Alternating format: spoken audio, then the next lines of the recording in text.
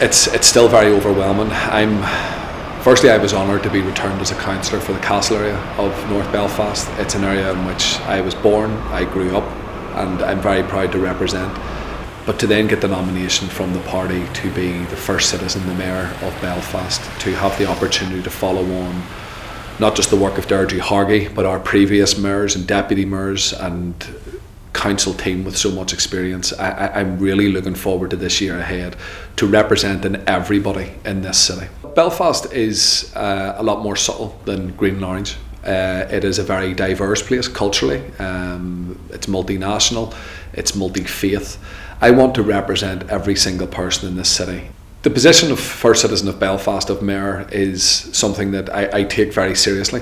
Uh, it is a unique position. It gives me the opportunity to represent everybody because our politics, uh, and we have been very clear and very strong on this, is that we want a new Ireland. We want a new brand of politics. We will reach out, uh, and I will certainly be reaching out my hand to those um, in all areas of Belfast. I will not be a partial mayor. I will be a mayor for everybody, and that is a challenge and an opportunity that I'm really looking forward to for the year ahead.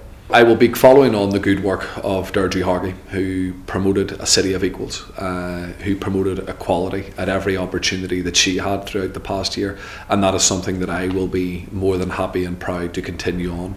I think there are a number of other issues that I think need focus. Um, Belfast is a vibrant city. There is increased investment, there's increased tourism.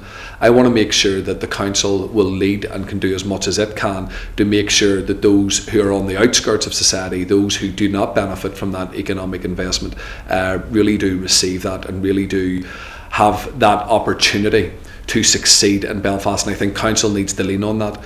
I also want to bring particular focus on climate change. I think the council needs to be greener, needs to be cleaner, needs to be more efficient in its policies whilst being cognizant of the very real threat that our planet faces at this time and that's something that I want to bring a very strong focus to.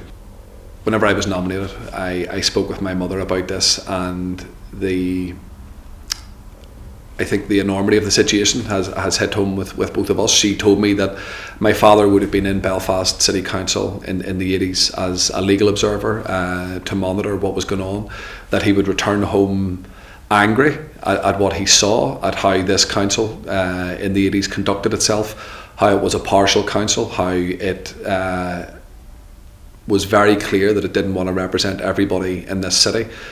And I am cognizant of the fact that 30 years after his murder, I am now going to be mayor of Belfast for the year ahead, and that's something that I take immense pride from. Uh, I was raised by my father and my mother, and certainly after my father's death, that um, that the law and that politics should be there for everybody. That rights aren't privileges to be given uh, and taken, depending on those in power.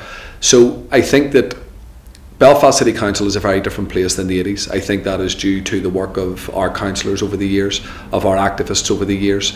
Uh, it fills me with immense pride that, uh, certainly with my upbringing, I, I always take inspiration as to what my father stood for in his life and also what his death represents. And I think that with myself as mayor, driving Belfast uh, into the into the future and always looking to the future, whilst always being cognizant of, of where we've come from, is something that is, is very much in my mind as I take up this year in office.